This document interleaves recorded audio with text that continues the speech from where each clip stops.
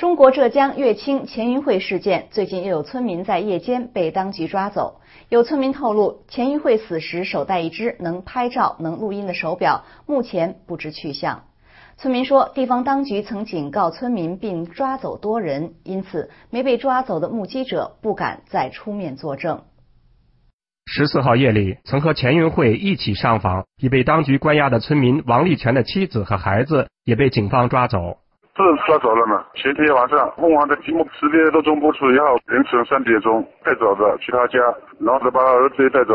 这个手表的情况，手表情况我就不知道了。昨天中午带他儿子回来拿东西来的，不知道拿什么东西。据凤凰卫视十三号播出的报道中，村民说，钱云会死时手上戴着一只手表。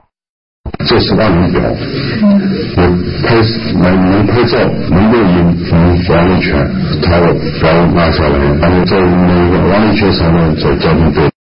村民还透露，钱云会在上访期间曾多次得到在北京的温州永嘉人袁迪贵的帮助。七号，他突然失踪，此前他会一日数次与村民联系。另外，警方曾挨家挨户警告村民不要接受采访，说不好就会抓进去。说是维护治安，因此村民大都敢怒不敢言。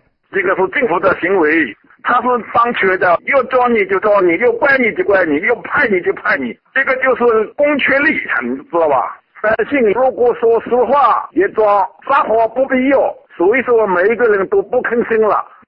十五号早十点，记者打通乐清警方电话后，对方不回应记者，便挂断，之后再无人接听。钱英慧的父亲钱世南认为，若不是警方不断抓人，现场多位目击者一定都愿意出面作证。新唐人记者梁鑫、肖宇采访报道。